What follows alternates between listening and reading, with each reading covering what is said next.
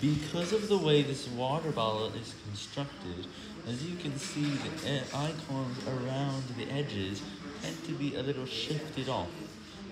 By the way, the water is also 100%